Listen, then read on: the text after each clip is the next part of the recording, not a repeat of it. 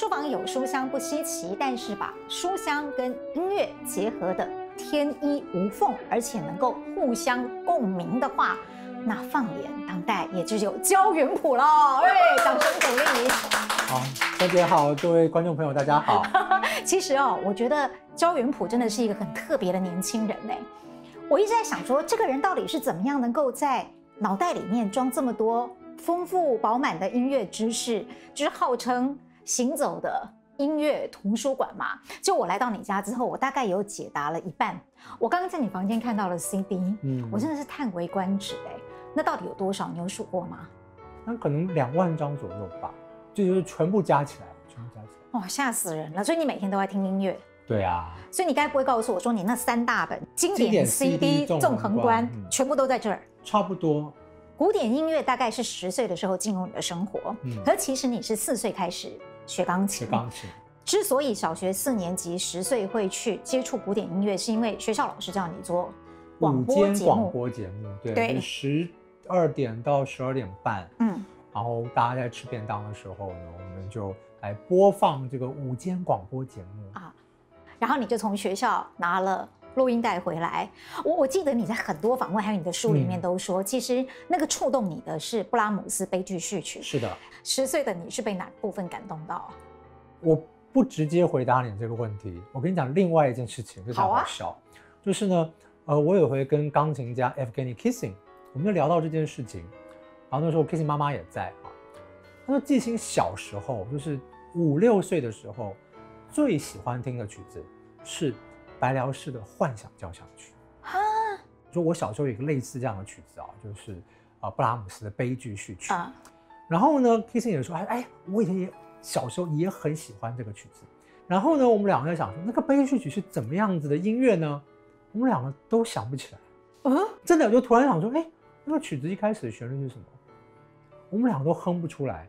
就是当很多年之后，因为小时候很常听、很常听、很常听。所以，话有段时间你就自然就不会去听它了啊！我现在再去听那个曲子，我也不知道为什么我小时候那么喜欢。我这样听了觉得好安慰哦。如果连你跟即兴都哼不出来的话，是啊，就是这样子啊。但是我们也没有贬低这个曲子意思啊，是是是，没错。就而且他现在。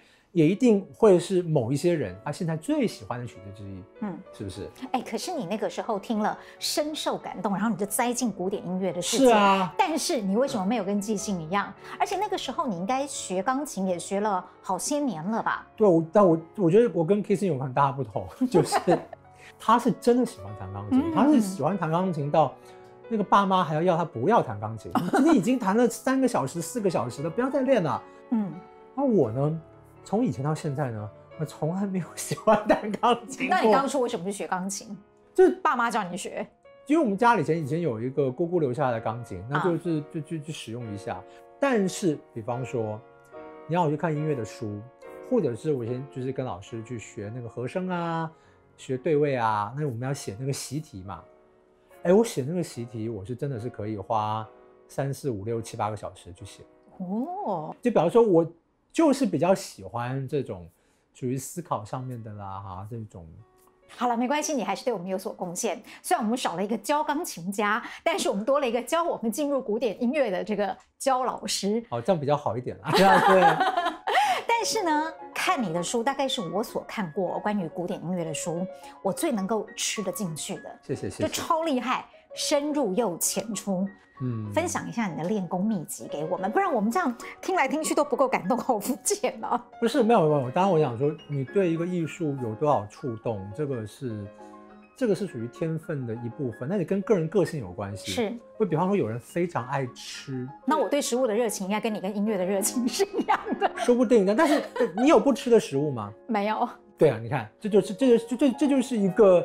一个指标，因为像我很多时候我是不吃的。那像我的话，对音乐的话，我还真的就是，哎，各种音乐我都会，呃，你要贴给我听的话，我都想要去听。嗯，啊，就是就我没有排斥任何一种音乐类型。当然，我有我特别喜欢的曲子，或者是呃特别喜欢的乐种，或者是哪个作曲家或如何。但是基本上，因为我在什么 Line 啊、WhatsApp 啊、脸书上面，常有朋友就说，哎，我听着很好听，想听听。最近还有人给我一个叫什么 K-pop 这样子，你也听。不，你你给我任何音乐我都会听，你就常听就好了。啊你大概听了多久以后，你开始练就可以辨别的功夫？你自己觉得？还蛮快的，还蛮快的。没有，这也是一个我跟别人有点不太一样的地方，就是呢，呃，我在听音乐很早的时候，我就意识到，一开始听一个曲子，你等于是把这人的演奏风格跟这个曲子你是同时接受，嗯嗯，所以就会有所谓的先入为主的感觉。是是是。所以后来我就是有刻意的想要消除所谓的先入为主的印象，所以我后来买这个 CD 呢，比如说我要第一次听这个曲子，是。大概就买五种不同的版本，一次就买五种版本。啊哈，就当你一次听五个的时候的话，这就可以有效的消除先入为主的印象啊。其实是好方法耶。对啊，是啊，所以我后来发现，就是这还蛮好玩的。嗯，其实你听听音乐，经常有很多连接法，你辨别的不只是演奏的风格、演奏的个性，然后曲子的本身，你自己的感受，连音乐本身的故事。作曲家的文化背景，他的养成，然后你就变成一个无止境的音乐载体一样。你写过一个故事，还是讲过一个故事？我觉得蛮妙的，就是你国中二年级突然开始研究法国的梅香，而且是因为一篇报纸的新闻，那是怎么回事？因为这个作曲家非常不幸的，就是在四月二十七号过世。嗯，然后本人刚好是隔一天生日啊，所以隔天我这个生日起床就看到，怎么都是他的讣文这样子。然后上面就想说，这是当代最伟大的作曲家过世了。但我的个性是那种，就是说，你说他是全世界最著名的作曲家嘛，当代作曲家，那我不认识，那这是我的问题呢，还是你的问题呢？既然如此的话，我就听听看嘛，嗯，对不对？应该找一下这样子。所以我基本上对这方面这方面的知求知欲望我是有的啊。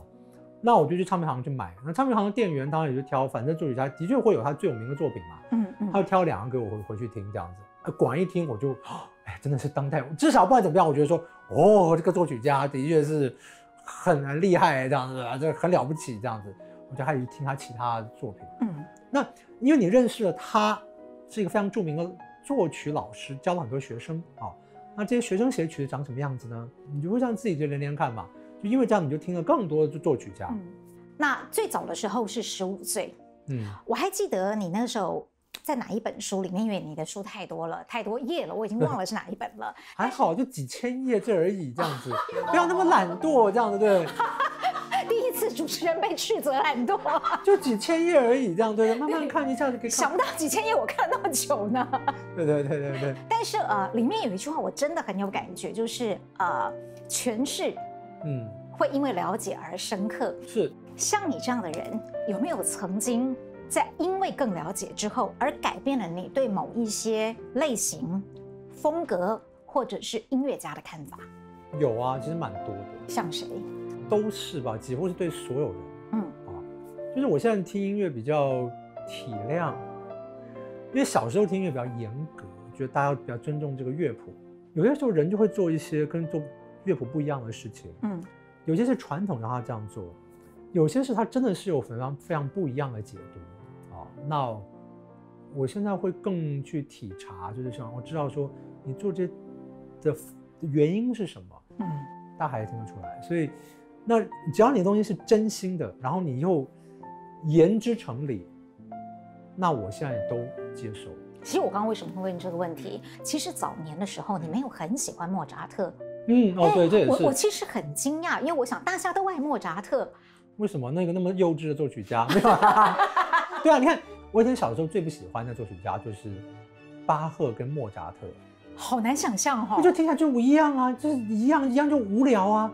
然后我国中的班导师他是教理化，他最喜欢作曲家之一呢就是巴赫，对，所以我们在那个国中毕业纪念册上面，他特别跟给我提提点啊，不要轻易放弃这个巴赫的美好啊，或者什么东西这样子，对，对，他就是我国中毕业的时候，他还送我这个巴赫的录音。然后我心想说啊，天啊，我要听这些吧。好了好了，你已经完成了国中老师 在毕业的时候对你的期许。对对对对对对。而且你还做了更多，弄了一堆的那个游艺黑白一百零九位音乐家的访问诶。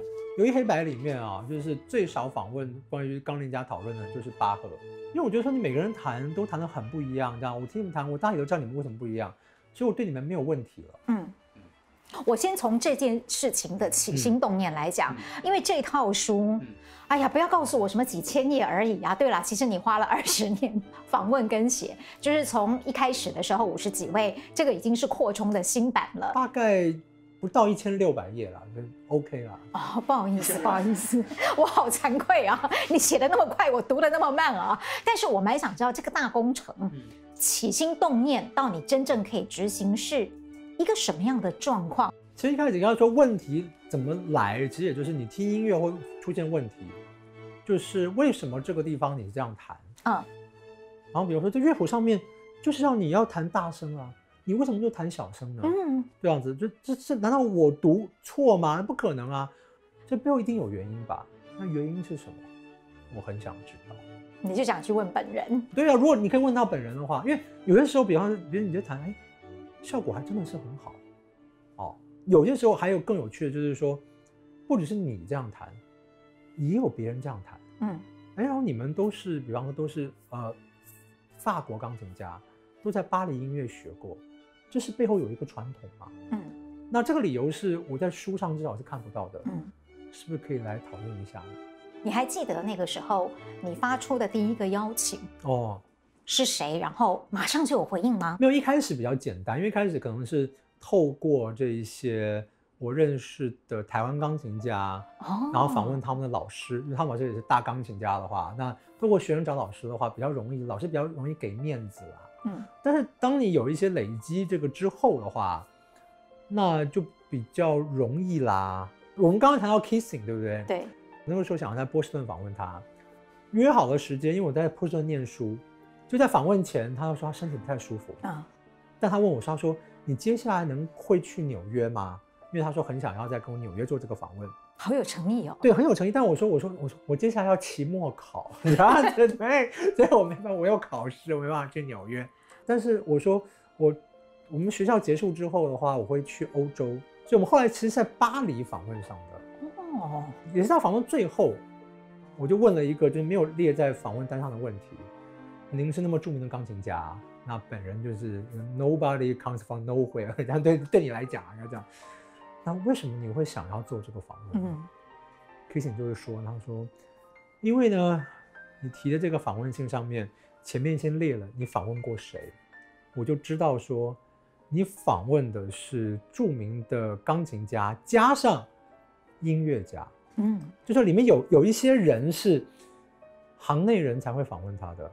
而且上面还有一些，就是，就是说，我们可能业内人知道，比方以前这些年高德少的俄国钢琴家，嗯，可能一般的人不知道的，但是你访问了他，说我看你会访问他，我就知道说这个人应该很有程度吧，嗯，既然如此的话，那这个访问一定是可以接受的。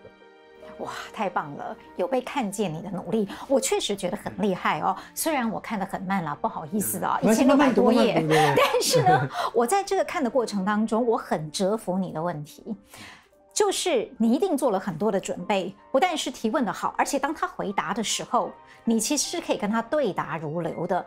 我蛮想知道你之前是怎么做准备的。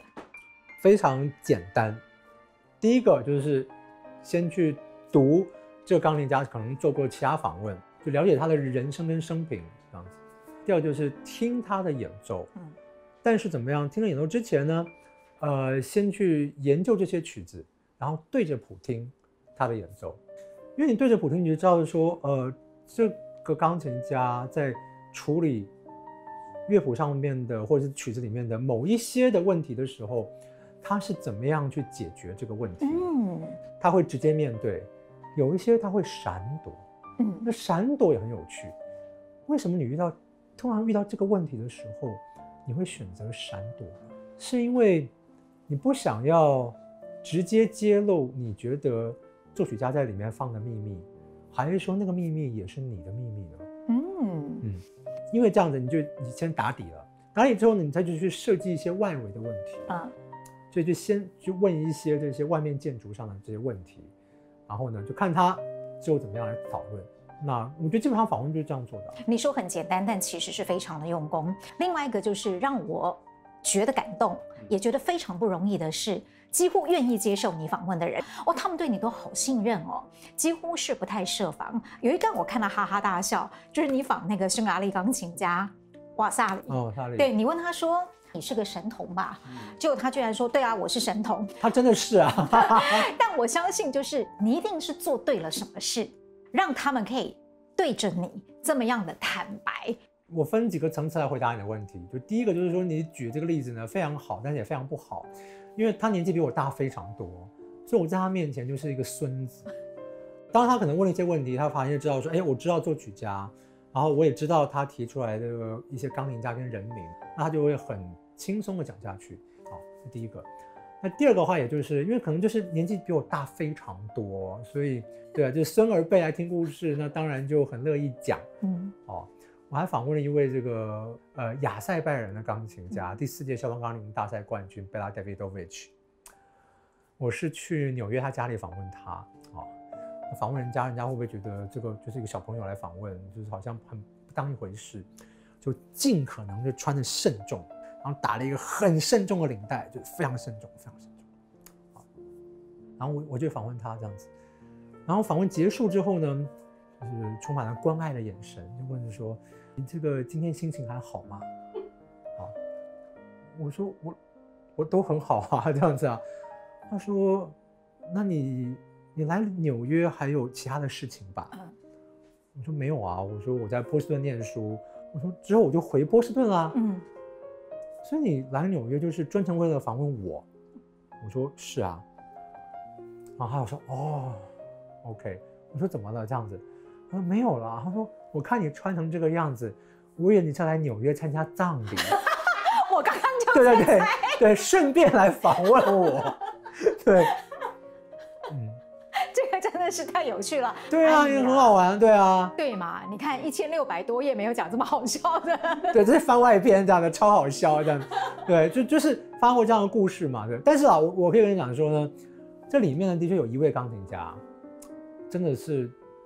看到我的年纪就很轻视那个访问哦，就是一个瞧不起人的态度。嗯，所以呃，那个访问，大这里面唯一一个不愉快的访问。哦，难怪我看里面好像有些篇幅大，有些篇幅小。嗯，回去猜一下，到底是哪一位？哎，我当年的编辑猜到了哦。哦，我还问他说你怎么猜到的？因为我说我我觉得我隐藏的很好啊。对，他说他就是你隐藏的太好了。所以就说你的问题非常好，他的回答也非常好。可是整个访问呢，看起来非常的冰冷，没有火花，没有温度。对，好，那我猜到了以后，我再告诉你。好。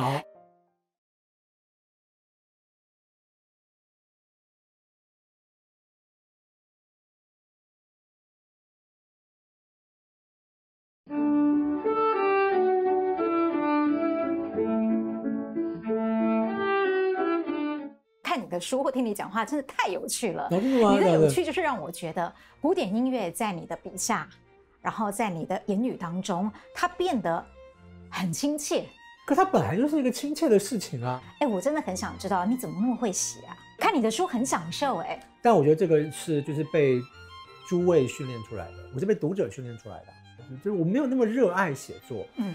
但是写作有个好处是什么呢？就是帮助你这个组织这个知识，然后去做下一步的这个最好的方法。所以当然这也是写作很大的这个收获啦。但如果你这样写出来，对不对？你写了一个艰深难懂的，为了你自己的知识达到这个目的了，可对读者再来讲，读者根本没办法去看的一个东西。嗯，对。我其实想把知识跟内容传达出去。嗯，如果我用一个方法是没有人能够接收到这些知识的话。那所有这些东西都白费了。就说你要去思考，就是我讲的这些话，是不是能够被人家听懂？所以呢，我要跟大家特别推荐这本《月之本事》，它是我有史以来我觉得最好读、好懂的一本古典音乐的入门书吧。感谢感谢。对我真的觉得它很棒，所以你看我贴了这么多的注脚在上面 啊，可见本来有多么不懂古典音乐。但是呢。原谱要很会写，跟你的阅读是有关系的。我蛮想知道你怎么读书，而且小时候你是怎么样开启那个文学之门的？小时候最喜欢看的书呢，一种是来自于家庭这边的，就是中国古典文学跟诗词。嗯，因为我小时候最喜欢看的书其实是自然科学方面的书哦，就是生物啊这样子，那个是我最喜欢看的。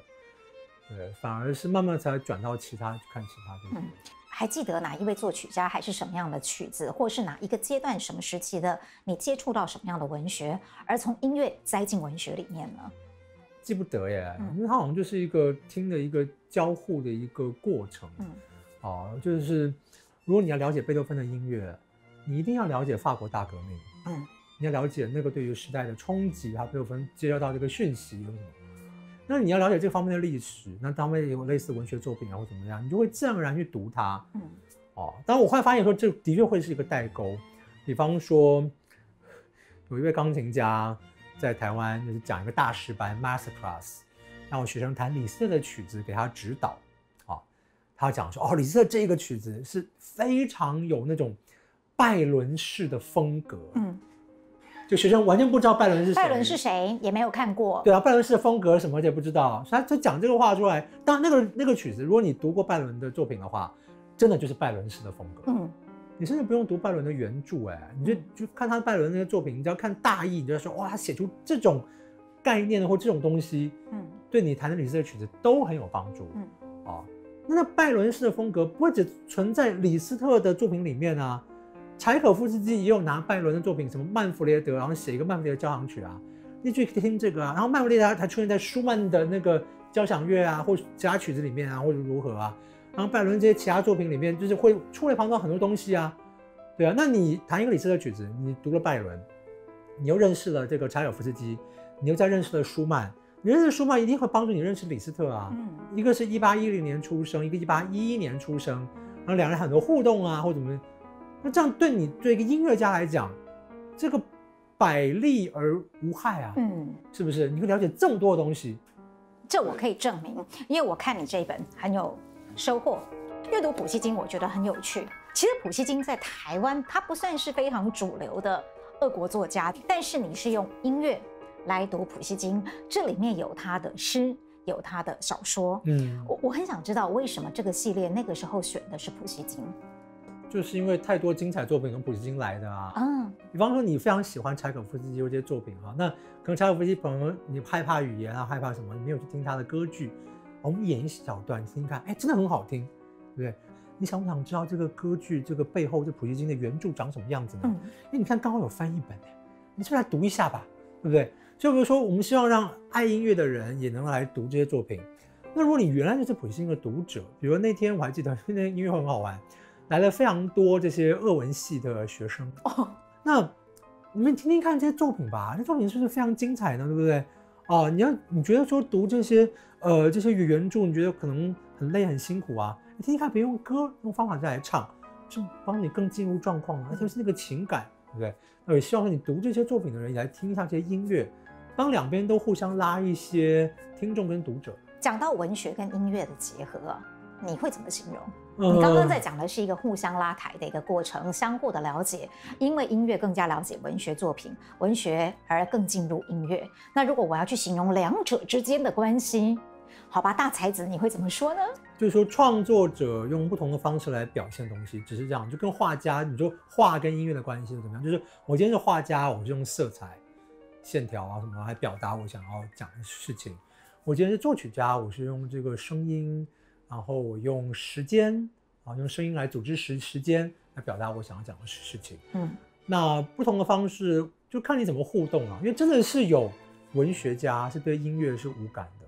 嗯，然后《青鸟》的作者梅德林克，他就是一个乐痴，每一个曲子觉得是好听或不好听，他无法分辨的。哦，这种痴，嗯，不可能也是因为这个原因吧？就他有一个女高音太太，所以这样夫妻相处可以很融洽啊。啊，对，然后呢，我自己非常非常喜欢的大作家纳博可夫，嗯，张爱玲的音乐应该也是没什么兴趣哦。对你写张爱玲那段，我好惊讶啊。对啊，真的是，就是你看张爱玲，就是过世之后，她遗物是没有什么家里没有在听音乐的，嗯，但是就是你能说张爱玲的文字没有音乐性吗？没有啊，但不是，我就我说她文字非常厉害，很有音乐性。纳博可夫的文字也很有音乐性，梅德林克更是，嗯。我们说段落还有比如情节的那种收放张弛，我们觉得说啊，就是这种跌宕起伏非常的精彩啊，完全可以用音乐来形容的。可是你刚刚跟我讲了一个故事，我觉得好妙哦，一定要让名人书房的观众知道，就是关于包法利夫人。哦，包法利夫人啊，对，这也是最近你在研究的事，对不对？研究文学作品里的音乐。哎呀，好累。你先从这个例子告诉我们，怎么研究文学作品里的音乐？呃，包法利夫人是一个非常好的例子，因为她在第二部分的第就是最后一章是一个歌剧院场景。是。然后讲的是董尼采蒂的歌剧《拉美莫的露琪亚》。好，那我特别用这个来讲呢，就是说，弗洛拜也不是一位对音乐特别有研究的作者，但是他是一位非常厉害的作者。他对于他笔下会写下来的所有东西，他都很要求，所以他一定是精心设计了这个歌剧院的场景，然后精心设计的挑了这一部歌剧。但更有意思的是呢，我们看到这个拉梅莫路路奇亚哈，原文是意大利文嘛。好，好玩的是在这部作品里面，弗洛拜我觉得他特别选的，他选的是这部歌剧的这个法文的版本。嗯，那法文版本可能我们很多人就直觉上觉得，就是把歌从意大利文翻成法文嘛。这部歌剧的法文版本跟意大利文版本是有出入的。包括女主角一开始出来的第一首咏叹调，这个意大利文版跟法文版是不一样的，嗯，是两个不同的曲子。弗罗拜完全发现了这个问题，然后他让包法利先生去问了这个问题。我觉得他为什么去选这一部？因为这一部他也是改编史考特爵士的文学剧本，他是先用小说，然后再用小说改成了歌剧，他说歌剧去改这个小说了啊。我们的女主角呢，就在这个里面写的话，就是说她根据她以前在这个修道院里面呢，就读过这个小说，这个歌剧剧情这些段落没有交代清楚，她也是可以看得懂。嗯嗯，啊，所以这边就有这样子一个落差。但是她先生就看不懂了，先生就看不懂。哎，而且他而他先生问的那个问题，就正是一个，如果你是专心的就想要搞懂这个歌剧的话，你的确会有那个看不懂的问题。那太太当然觉得先生觉得很烦啊，不懂风情啊，不想回答这个先生的问题啊，这样子啊，烦死了这样子啊。可能大家觉得说，对啦，这个呃夏尔包法利就是一个不解风情啊，不是那么浪漫的人啊。就太太觉得说嫁给他好无无趣啊，这样子啊，对他有什么刺激啊，什么什么什么。可是如果你知道说弗罗拜真的就是这么狠的，或这么精准的，就点到这一点的话，我觉得弗罗拜是要透过这一点，透过那个问题告诉我们，夏尔包法利。就是一个平凡人，这个点其实他是非常有层次的。然后我想说，弗洛拜真厉害，他选了一个这个歌剧，又有一个浪漫主义文学的这个原著，可以让太太在修道院里面先看过。然后呢，又有这个歌剧，又有意大利文版，又有法文版，然后法文版还改编了跟意大利文版有段落上面的这种出入，然后那个出入还真的会导致情节理解的问题。他把这些都知道了。然后让包法利先生去问这个问题，每个东西都写的非常的精湛，就是说都写在刀口上面，但是你又看不出来他写在刀口上面，一切看起来是这么平常的东西，可是背后居然是这种功夫。可是说真的啊，是我今天听你讲了之后，我才会触动这个思考，否则这本小说看过几次，我都不会去想，因为我对歌剧是不了解的。感谢你。那这样的话，表示说，因为我接下来写这个书的话，就有人会买了，这样子对。拜托好了，告诉我们接下来要写什么。我接下来，我接下来写就是想要写，就是文学作品中的古典音乐场景，就是他可能讨论到某个古典音乐某个曲子，他为什么要这样写？嗯，借由你去了解这个曲子或者了解这曲子背景之后，你会知道说啊，原来这其实有可能有更深的意涵在这个里面。嗯，当然了，像我刚刚讲的这些东西。你其实如果不了解这个歌剧，其实有个法文版，然后法文意大利版不一样的话，也没有关系，因为你看到最后，你还是可以感觉到说，对，这就是一个平凡人的故事。嗯，我特别讲就是说，它里面精心营造，营造成到这个地步，就光是用这个歌剧院场景，你就看出来，这是何等的这个写小说的能力。嗯，就真的太佩服了，就是佩服不只是一位。杰出的文学家，就是他在里面收的取材，他是下功夫到这个地步。嗯，所以文学作品当中的古典音乐，你打算怎么开始？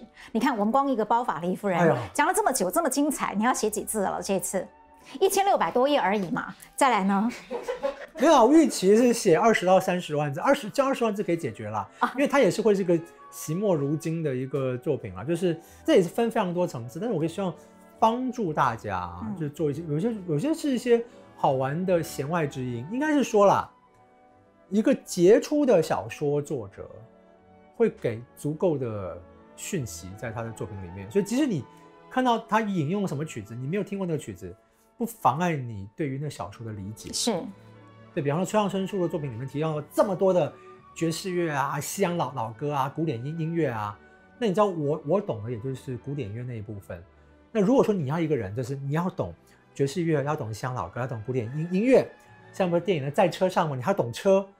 才能够读懂他的小说的话，那这是一个很烂的作者吧？对不对？对不对？那不可能。但是他全世界有这么多的作者，嗯，那比方说你都不懂这东西，也不妨碍你去理解他的小说，嗯，好，这是这第一步，就是大原则。但如果你去了解这些作品的话，对你去读他的小说有什么帮助？就是你可以看出这个小说，呃，有什么更多的层次吗？什么东西啊？我就想做这个事情。比方说，你们要讲另外一个啊，像这个小仲马的《茶花女》。茶花里面呢提到了一个古典音乐的曲子，很好玩，就是韦伯的幺舞。嗯，幺舞是写一个舞会场景，就是男方邀请女方去跳舞，然后女方先是这个，就是先拒绝表示矜持，然后再邀一次，他就很高兴就跳舞了啊，就舞会场景。好，好玩的是呢，小说女主角，啊，就是这个高级交际花啊，就在家里面有钢琴，她就弹这个韦伯的邀舞。然后她弹的是中间这一段，然后说奇怪，这段我永远老是弹错，永远弹不对，就这么简单几个音，那个谁谁谁啊，我的一个包养人之一这样子，他弹这个都没有问题啊，他钢琴技术比我还差得多，可是他弹就没有问题，我怎么就弹错了？然后我好想知道答案。不是，我觉得这是一个精彩的一个伏笔。我就说，但我们说啊，你不了解这个伏笔，也不妨碍你读这个小说。嗯，但这伏笔是什么呢？然后我是个圆舞曲。哦，圆舞曲是什么样的舞呢？它不是一个人跳的舞，也不是一队人跳的舞，它是两个人跳的舞。嗯，比方肖邦有圆舞曲是希望成为两个人，但最后破灭了。嗯，就你听的圆舞曲，比如一条线，到中间有个憧憬，冒憧憬，从一条线变成两条线，就一个三度或六度，两个人一起真的是，但最后音乐出现了一个什么转折，不和谐，又回到。单音的旋律，就是我多么希望跟你在一起，我真的永远的在一起过，但最后还是我一个人啊！我太期待你的，那帮他那二三十万字写快一点，所以太想知道。所以那我们讲嘛，就是说嘛，那你看嘛，我们的女主角啊，玛格丽特高提耶，就两个人要跳的那个主题，她永远弹错音。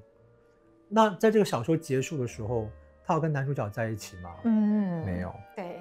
想要跟人家跳这个圆舞曲，可是永远没有办法跟人在一起。嗯，那我想，我想讨论就这个伏笔。但是我就说，你不懂这个伏笔也没有关系。嗯，啊，不妨你读这个小说。但是读这个伏笔的话，你发现说，啊，这个作者在前面就告诉你说，接下来是一个悲剧啊，接下来是一个悲剧啊，这两个人就是不会在一起啊，这样子。对，所以我觉得懂得这个伏笔更好，这就是你说的。所以爱乐人要多读好文学，爱书人要多听好音乐，有道理。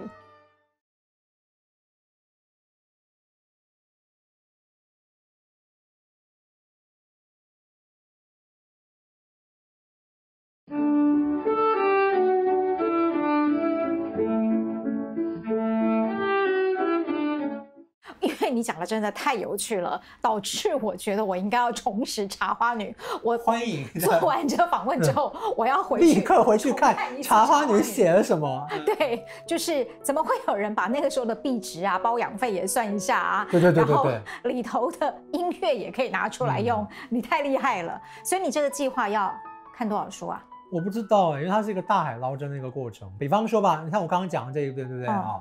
前年魏武营。演了这个茶花女，那时候请我去做演讲，我就再读了一些原著，我才赫然发现说，哎呀，里面有这一段啊，把它记录下来，要不然以前看也是都忘记，嗯，啊，就跟大家一样，然后我有那么多小说要看，所以每天每天都在看书，就为了这个计划在阅读。对啊，就非常辛苦啊。最近看的是什么？最近我就是把这个伊恩·佛斯特的所有长篇小说又给再看完了一遍。嗯。然后呢，就发现赔了，就是它里面只有五本你就提到古典音乐，赔了，对吧？就多看了一本了，但没有了。你要了解他的风格，你还是要全部都看了，这样对。但是就是，哎，多看了一本这样子，对不对？啊，然后那没有办法，你非得看呢。对，那接下来还有什么呢？我有一个东西啊，这个可能看完之后也是白费功夫，但是当然无论如何值得看，就是马奎斯。马奎斯是爱乐者啊。那他有些小说里面，特别他最后一本小说里面有提到古典音乐，还有古典音乐家，还有古典音乐唱片。只是我目前的感觉是他写错了，这也是个大发现。对，但我比较好玩的是呢，就是正当我有这个发现的时候，我跟这个自由时报副刊主编孙子平老师呢，我们也讨，我跟他讨论一下这个事情。我那时候跟他讲的那个时候呢，还找不到讯息，就后来我再查一查，赫然发现二零二一年年底。牛津大学出版社出版了一本书，就是像那种什么马奎斯入门书吧，就找不同领域的人来谈马奎斯。里面赫然有一篇，就是讨论这个音乐跟马奎斯的关系。哦，他好像就是有讨论到这个东西。然后我想说，哎呀，你看，被人家先写走了，对不对啊？啊，没有啦，就大家都可以写了。但是我说，我想把那本书买来看一看，就是说看看他的发现跟我发现是不是一样的。嗯，但是啦，无论如何啦，马奎斯都是值得读的了。嗯，是啦。其实你们家小时候，嗯，不是真的有那么多古典音乐的。是啊，没有啊。你怎么会跟你妹妹都走上音乐的路？而且三个孩子里面出了两个。我跟你讲，很多人呢问过这个问题，但不是问我，是问我爸妈。然后我爸妈就是说，我们小时候真的是没有培养小孩做这些音乐什么事情。然后人家下一个问题就是说，哎呀，不要那么自私啊，不要藏私啊，你们有什么秘密啊？我爸妈说真的没有。我爸有有只有一件事情啊，就是。他觉得只要小孩的兴趣呢，只要是没有什么伤害的啊，没有没有坏处的话，他们都愿意支持哦，正面的都可以，就对。对，就是你要一听音乐，你就去买那个卡带嘛，或者买 CD 嘛，那就拿钱来啊，对啊，就给钱啊。你要看书，那就就给钱去买书啊，对不对？那他们都给啊，那我们就去很高兴的去买这些卡带啊、CD 啊、书啊，这样来培养正当的兴趣。对啊。那你妹呃，以前叫张璇，现在又回复了本名了嘛？安普。你跟你妹妹之间的音乐天地不太一样，可是很怪的是，你的书里面都有她的影子。哦，对对对对对。因为你的书是她设计设计啊，或者什么的。对，为什么啊？你们怎么会发展出这么奇特的？因为我觉得你们两个之间应该是谈音乐啊，就他帮你设计书，包括这些书对。对，这是怎么一回事？这模式怎么来的？哦，没有，其实我们说白了。他歌迷那么多嘛，然后骗一些他的歌迷来买他可怜哥哥的作品，这样子。殊不知后来我们发现，这好像没有起到什么太大的作用，这样子。但你还是继续让他设计。有些是好玩的，比方说像《月之本是》这个书啊，我们有一个非常好的一个设计，你把这个书封拿拿拿下来，然后这书封打开之后。是一个作曲家的年代表。好了，我刚刚被你考倒了，对不对？因为我看这本书的时候，真的没把它看。对呀，我有写在序里面的，对对对对对，就是我说你把，因为看到后来已经忘了再回头。对，我就说，请大家把书封打开，是作曲家年代表。你看这样子的话，我就不用在背后再列什么作曲家年年代表了。这样，哎，这样还还可以贴在那个什么哪哪边啊，或怎么样？这样不是非常好吗？哦，虽然呢，这个书呢，这个。十个人买这个书呢，大概九个半都没有把它打开过啊！但但但我觉得这是一个非常好的一个设计啊，对不对啊？对对，称赞一下安普。所以呃，你虽然说你没有很爱写作啦，但是我觉得你是不是很率性而为的在写？还是说那些看似轻松诙谐、亲近的字句，其实是你的用心良苦？我在写这本的时候比较轻松，我现在写东西比较复杂。嗯嗯。因为我觉得我大脑结构有改变。我在访问白建宇的时候，当时这是新版本才有的内内容啊，因为旧版本的时候还没有谈那个贝多芬钢琴奏鸣曲全集。对。呃，他后来跟我讲一件事情，我非常惊讶。嗯。就是说他这样子，就是八天八场，然后这样弹完贝多芬之后的话，突然他经历了一件事情，就是说他不知道怎么弹钢琴了。他觉得说怎么样弹好像都不对。他就很恐慌，他他因为还在继续啦，他觉得每一场都不对，嗯，可是后来他就慢慢走出来，而当他再走出来之后呢，他他变了一个人，他变说他看每个曲子，突然间就看得更清楚了，嗯，好像把某些思考的方式给给打坏了，嗯，但当他慢慢自己在重组之后呢？他就往上跳了一层，嗯，看得更高了，反正就就变简单了，然后看别人也变简单了，嗯，啊，到了另外一个层次了。我当然是没有那么高深的这个层次了，但是我跟他经历了一样事情，就是我写完这个游艺黑白这个新版本之后，我真的是经历了他有应该有三个月的时间，我没办法写东西，就是我写那种一千字的专栏，以前真的非常简单，我可能写一个小时、一个半小时就可以写完的。我后来在写完这个之后，也是像我突然之间我不知道要怎么样写文章，嗯，然后导致就是一千字的东西，我要花一个礼拜去写，嗯，然后每个字像用磕的一样，然后我就想说，我怎么会变成这个样子？可是呢，我没有害怕，就是因为我访问了白建宇，我就要说啊，那我大概跟他经历了一样的事情，嗯，就是。那太密集的那那个八个月到一年的时间，我全部是卡在这个百万字的这个文字的迷宫，要去组织，要去整理，要去梳理，什么什么这样子。我觉得我大脑现在也开始在改变。那在这改变过程中，你就是就你你就不知道怎么写东西。嗯。但是如果白振宇走了出来，我应该也可以，可是我需要时间。嗯嗯。那后来的确，哎，我现在就是又可以恢复到比较可以写作的状态。但那时候我就觉得说。我现在做就是等待，就持续听音乐，持续看书，写作了真的没有办法，除了必须要生出来的专栏之外，很痛苦的就磕那个字之外，那我就让自己不要写了，嗯，就不接稿子，不要写这样子。对，但我知道我会度过，那那是白建宇的经验告诉我的。当然，我觉得我对袁普很有信心。你自己再深或再高，你表达出来的还是很愿意用亲切跟浅白的方式去接触。别人，但是遇到过浅的时候怎么办啊？什么意思？例哦，例如说，嗯，你也遇过一些学生嘛？哦，听你的演讲的时候，但是当遇到有人跟你说啊，贝多芬的音乐为什么会这样慷慨激昂呢？啊，因为他耳朵听不到。哎，肖邦很轻柔啊，因为他肺结核，身体不好。遇到这种过浅的时候，我想知道现在的你怎么接招。我所有你认识的大作曲家，或其实不讲他是大创作家，好了，都一样，他一定会有一个作品，是，你真的不觉得那是他的风格，但他就是写这样的作品，表示说他们是非常丰富的，嗯，但每个人有自己的个性，个性也形成他们的风格，只是所有在这个大风格里面都有例外，这样子，那我会用这种方式来讲，哦，那如果如果是没有例外的话。那他可能就不是那么伟大的创作者，因为他一他一直在重复一样的东西啊，对不对？嗯，对啊。所以这可能就是袁普说的吧？你说人家每次说你做这么多，你在推广古典音乐，你每次都说没有，我没有在推广，那这不是推广是什么呢？我让希望让他广，但是我没有推，因为我觉得它是一个还是很个人的事事情。我常用这个来比喻嘛，这个青椒啊，你要喜欢吃，那我推荐这青椒做的很好，就可以吃。你要是不喜欢吃青椒。我再怎么推荐给你，你就是不会吃啊！但这不是你的错，也不是青椒的错，就是没有缘分。你就不喜欢音乐，没关系，我希望你找到你喜欢的东西。嗯，名人书房，我们就在推广阅读啦。所以呢，我要请你最后用简单的一句话来形容阅读对你是什么？其实，在这个时代，我常常说，就是说，那估计很多是没有歌词的，是一个非常抽象的东西。这个时代呢，大家好像也不是那么喜欢抽象的东西，他喜欢具象的东西啊。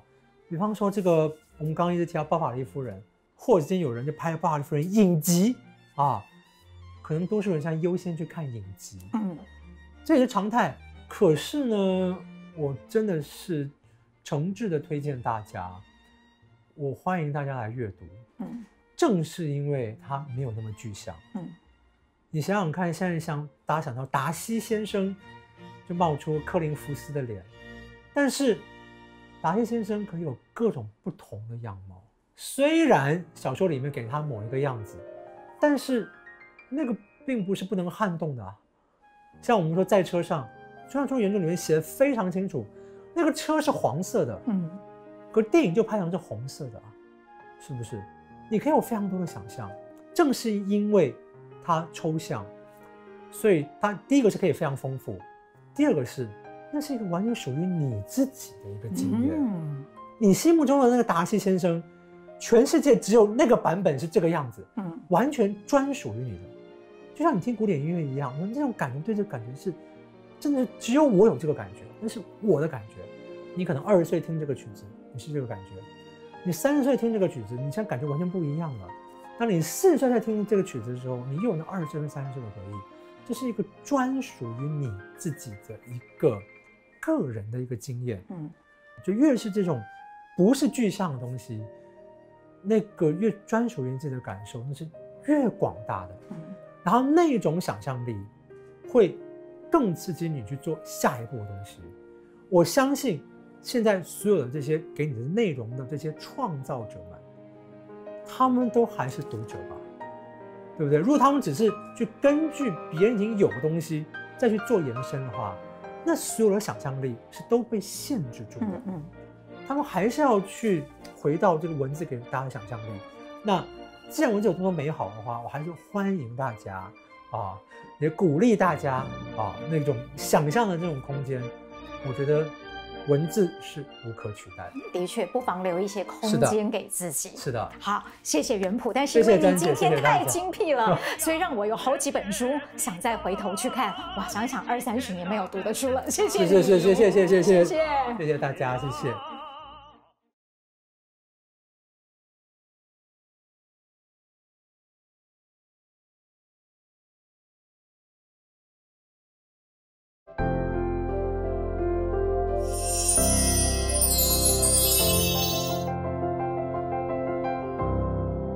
位名人书房的观众朋友，大家好，我是有论花的总编辑林玉伟，今天要跟大家介绍三本书。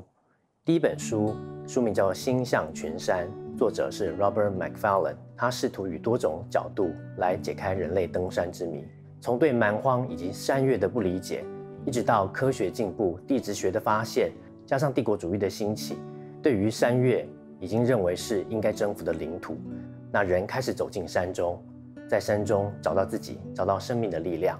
第二本要为大家介绍的是李明聪老师的物理学。他有一次因为研究是淹水，他被迫去检视堆积在室内的各种物品。那他开始去理解、思索，对于物件、人，除了占有之外，我们跟我们的物件还可以发展出什么样的一个关系？拥有一个物件的时候，其实我们的灵魂已经悄悄地附着在上面。那他透过生活，已经参与在我们的生命当中。那我们收藏一个物件，除了表达自我之外，其实在记忆以及情感，以及甚至是集体想象当中，去影响我们的生活。那我很喜欢李明聪老师以独特的视角跟文字来解读人与物件的关系。第三本要为大家介绍的是一本绘本，书名叫做《他维维安迈尔》。其实他的正职是一个保姆，那他借着工作之余拍照，生涯累积超过十万张照片。可是，在他生前，一张都没有发表过。一直到二零零九年，因为仓库拍卖被人买下，那他惊人的作品以及神秘的故事才逐渐被人所知。那在这本书当中，呃，意大利插画家亲家 Gigliano，他以插画的方式来重新表现了呃 Vivian m 的故事。他的人物设定主角这个他其实不是迈尔本人，而是他脖子上所挂着那一台的 Rolleiflex 双眼相机。这台相机被赋予灵魂，以独白的方式为我们介绍 Vivian Mai 的故事。这本绘本是所有献给喜欢影像的人一封最美丽的情书，推荐给大家。